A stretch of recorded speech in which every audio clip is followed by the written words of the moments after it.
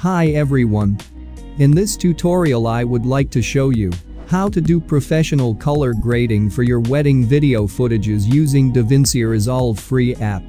Now you can see the result which you are able to reach follow my instructions.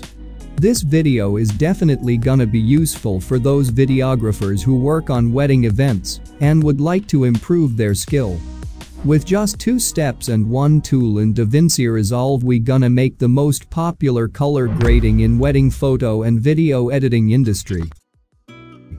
Also I will show you how to create a LUT or how somebody can call it preset that you are able to use anytime and in any other video editing application like After Effects or Premiere Pro or Final Cut Pro or even VN Editor on your mobile phone.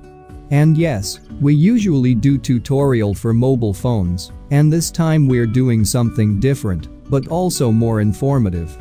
And there is not gonna be any passwords and stuff like that. So to get the LUT you have to make it by yourself this time.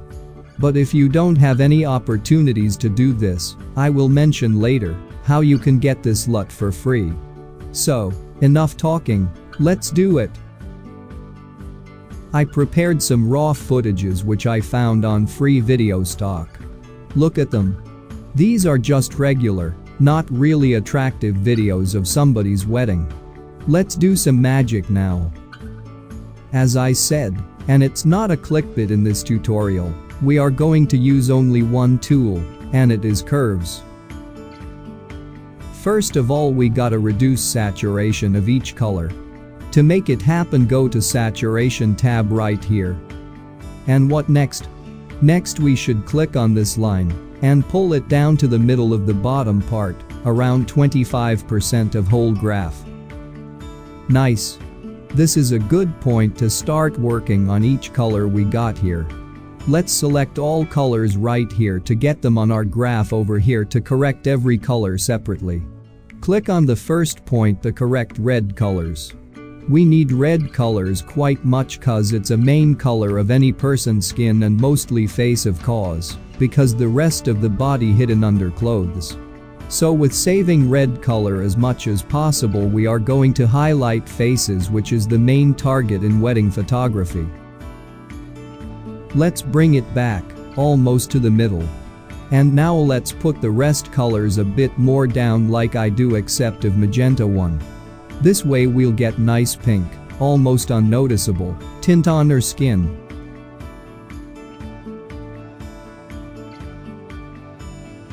And actually we are done with this saturation curve.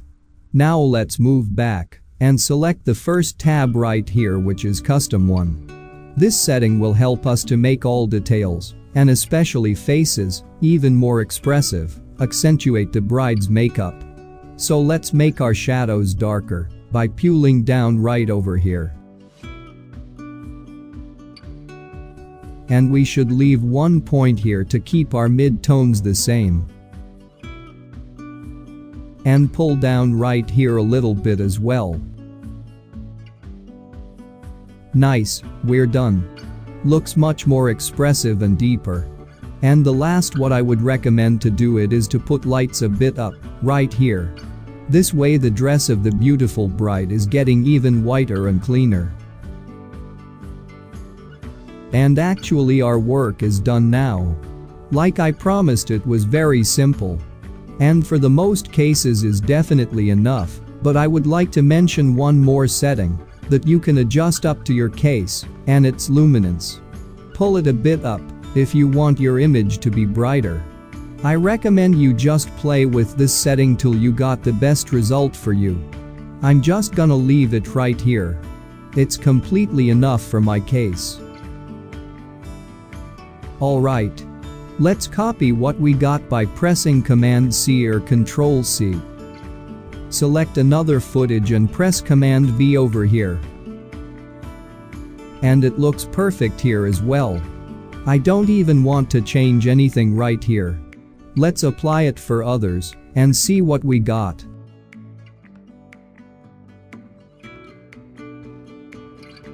You can probably notice that some of them look a bit different. This is because all these shots from different scenes with different light and background behind, shot with different cameras, however in the meantime all of them got much better and more professional, and that was our goal for today.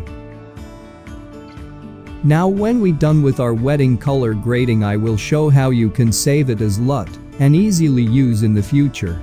Let's click right button to get this menu and navigate to this section where you can see generate LUT options. Select the second one which is 65 point cube and save it as you wish and wherever you wish. To add this LUT into the LUT panel over here you should do next. Press this cog icon and select Color Management tab. Look for Lookup Tables section and press Open LUT folder button here. Now you can choose any existed folder you create your own one and paste you LUT right there.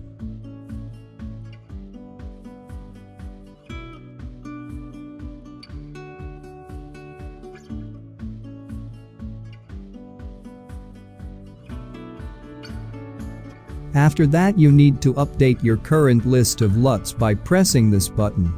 Click Save Now. And let's check out our new, just created LUT. Go to the LUTs tab. Look for the folder that you have just created. Here it is. And my folder right here. And our beautiful wedding LUT. Let's check it out on this shot. I'm gonna reset the node right here to get the original footage. Done. And let's apply the LUT. Perfect. As you can see it works just fine, and you can work with it very easy. So guys, I hope you learned something from this tutorial. And now, as I promised, I wanna give some opportunity for those people who cannot create the LUT, or just don't want to spend the time doing so. So, guys, if you'd like to get the link to download this preset just support the channel by subscribing, leaving your like and comment. And if this video gets 500 likes and 100 comments during the week we will provide you the link to download this LUT. Thank you guys for watching this video till the end, we really appreciate it. See again in the next one.